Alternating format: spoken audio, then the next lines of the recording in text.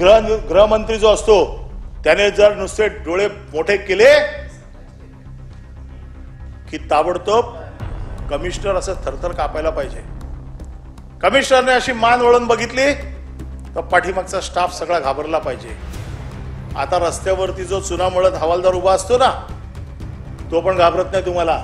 आमदाराला आज पोलीस स्टेशनच्या आतमध्ये गोळ्या घालाव्या लागतात दुसऱ्याला. कुठे गेली ईडी? कुठे गेली सीबीआय कुठे गेला इन्कम टॅक्स कोण विचारणार आहे की नाही? पन्नास पन्नास कोटी रुपये कुठल्या कुठल्या मंत्र्यांनी दिले त्यांची नावं आहेत. दादा दरारा लागतो पोलिसांवरती. आमदार गोळ्या घालतायत. एक आमदार पिस्तूल हवेत फायरिंग पोलीस स्टेशनच्या आतमध्ये. एक आमदार सांगतोय तोडून टाका हातपाय जामीन घ्यायची जबाबदारी माझी. एक आमदार सांगतोय पोलीस काय माझं वाकडं करणार आहेत? आमदार फायर करतो. त्याचं लायसन्स जप्त केलं का तुम्ही? अरे या आमदाराला जेव्हा फक्त नेला होता ना चौकशीला तीन दिवस हगवणीवर बसला होता. पुण्यातले तुमचे गुंड इथे महा इथे इथे येऊन रील करतात. अरे गुडघ्यावरती बसवायला पाहिजे होते कमिशनरने सगळ्यांना. अख्ख्या बाजारपेठेत धिंड गुडघ्यावर काढायला पाहिजे होती. किती लोक पॅरोलवरती तुम्ही सोडले याची लिस्ट आहे आमच्याकडे. धुमाकूळ चाललाय नुसता. आणि मग हा धुमाकूळ थांबणार आहे की नाही हा माझ्या समोरचा प्रश्न आहे. प्रश्न लोकांना काय आहे लोकांचा विकास का थांबवलाय? गृहनिर्माणाचा प्रश्न आहे कायदा सुव्यवस्थेचा प्रश्न आहे. हा माझ्यासाठी नाही लागू होत आहे. कोण कोणाची फाईल कशी कापतोय कोण कोणाचे कान कसे कापतोय कोण कोणाचं नाक कसं कापतोय हे आम्ही दररोज ऐकतोय ते बोलतील. पण आमचा जो प्रस्ताव आहे कायदा सुव्यवस्थेचा या कायदा सुव्यवस्थेचे काय दिंदोडे निघतायत ते तुम्ही बघताय दररोज. काय कोणाचा कंट्रोल कोणावरती आहे? कोणाची अशी धमक आहे? कोणाच्या अशा डोळे वटारले की घाबरतात जनरली? अशी आमच्याकडे म्हण होती. की ग्रह गृहमंत्री जो असतो त्याने जर नुसते डोळे मोठे केले की ताबडतोब कमिशनर असं थरथर कापायला पाहिजे. कमिशनरने अशी मान वळून बघितली तर पाठीमागचा स्टाफ सगळा घाबरला पाहिजे. आता रस्त्यावरती जो चुनामुळत हवालदार उभा असतो ना तो पण घाबरत नाही तुम्हाला? तो पण म्हणतो जाऊ दे काय यायला किती दिवस आहेत काय माहिती जाऊ दे. दरारा नाही राहिला. आमदाराला आज पोलीस स्टेशनच्या आतमध्ये गोळ्या घालाव्या लागतात दुसऱ्याला. का परिस्थिती आली? आमच्यावरती रात्री बारा वाजता गुन्हा झाला की सकाळी पाच वाजता शासन आपल्या दारी आम्हाला न्यायला. आता ज्या आमदारांनी गोळ्या घातल्या का घातल्या कशासाठी घातल्या त्याने सांगितलं की मी शंभर कोटी रुपये दिलेले आहेत माझे शेकडो कोटी रुपये आहेत. अरे मला पंचेचाळीस हजार रुपयासाठी मला आठ दिवस ईडीच्या ऑफिसमध्ये बसवून ठेवलं. सत्तेचाळीस हजार रुपयाचा टॅक्स भरला म्हणून. अर्धी बिल्डिंग असताना पूर्ण बिल्डिंगचा टॅक्स भरला म्हणून. शासनाची फसवणूक केली.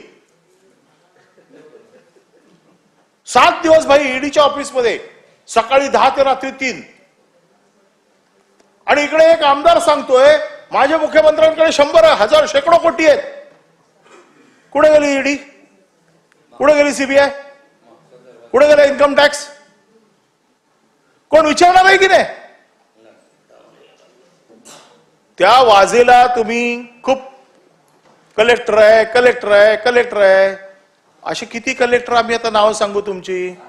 आत्ता काल परवा मुंबईत जे कलेक्टर पकडले दीडशे ईडीच्या फाईल पकडल्या त्यांच्या घरात.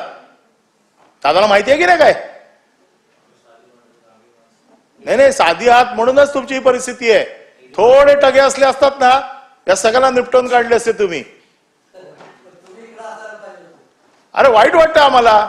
दादांसारखा एवढा चांगला सिनियर माणूस दीडशे ईडीच्या फाईल सापडल्या एजंटच्या घरात. आता तो विषय पूर्ण बोलायचा की नाही मला माहीत नाही. उद्या येऊ देत मुख्यमंत्र्यांना आणि त्यांच्या नाही यांची नाही आहे. नाही मंत्र्यांच्या आहेत ना. यांच्या मंत्र्यांच्या आहेत ना त्याच्या घरी सापडलेल्या फाईलमध्ये. ब्लॅकमेलिंग पन्नास पन्नास कोटी रुपये कुठल्या कुठल्या मंत्र्यांनी दिले त्यांची नावं आहेत. पण नोटीस दिली नाही म्हणून आज काय बोलत नाही. दादा दरारा लागतो पोलिसांवरती. आमदार गोळ्या घालतायत. एक आमदार पिस्तूल हवेत फायरिंग पोलीस स्टेशनच्या आतमध्ये. एक आमदार सांगतोय तोडून टाका हातपाय जामीन घ्यायची जबाबदारी माझी. एक आमदार सांगतोय पोलीस काय माझं वाकडं करणार आहेत? जास्तीत जास्त फोटो दाखवतील बायकोला. काय दादा? एवढी तर वाईट परिस्थिती या दे- महाराष्ट्राने कधीच बघितली नाही. एवढं तर नाही बघितलं. ठीक आहे. मी पण खूप वर्ष पंचवीस वीस बावीस वर्ष आमदार आहे. इतके तर वाईट दिवस आम्ही तर नाही बघितले.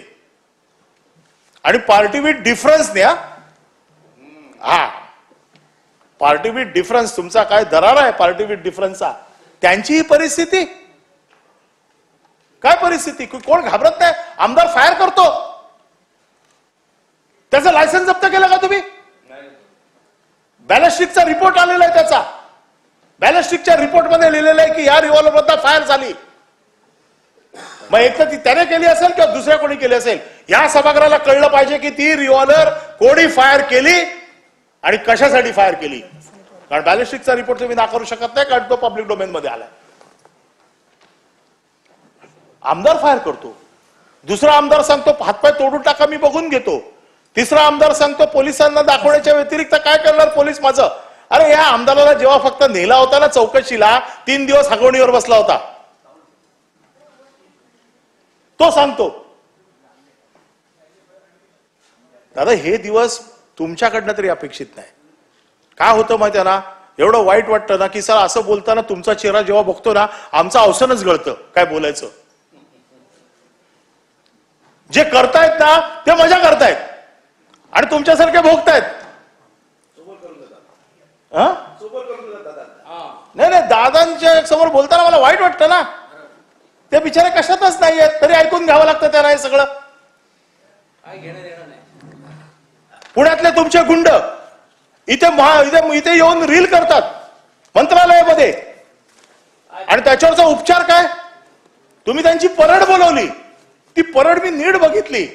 तर तुमचा डीसीपी असं बाजूने चालतोय. काय? कसं आहे?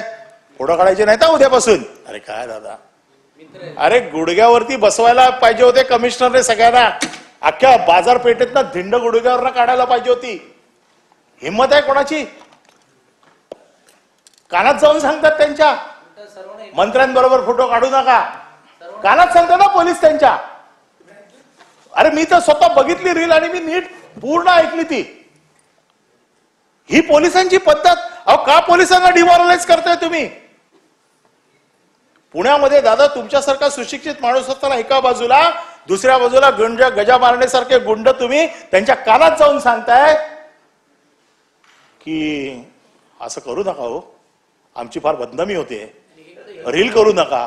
अरे मंत्रालयातून रील करतात. आणि ते पब्लिकली व्हायरल करतात. एक हिंदू डॉन झाला. हिंदू डॉन ही कुठली संकल्पना आणली हिंदू डॉनची ज्यावेळेला बाळासाहेबांनी असं म्हटलं होतं तेव्हा बाळासाहेबांवर ते सगळं तुटून पडले होते. आज तुम्हाला हिंदू डॉन पाहिजेत. हिंदू डॉन घ्या अजून डॉन घ्या किती लोक पॅरोलवरती तुम्ही सोडलेत याची लिस्ट आहे आमच्याकडे. आता निवडणुकीच्या तोंडावरती किती लोकांना सोडणार त्यांची तयारी कुठल्या कुठल्या जेलमध्ये चालू आहे याची लिस्ट आमच्याकडे आहे.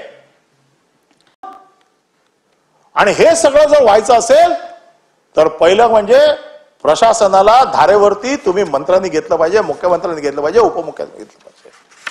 आम्ही असं म्हणत नाही प्रत्येक गोष्टीत तुमचाच हात आहे पण खाली त्या प्रशासनावरती जी घट्ट मांड पाहिजे आम्हाला तर तुम्ही फार जोडलेत.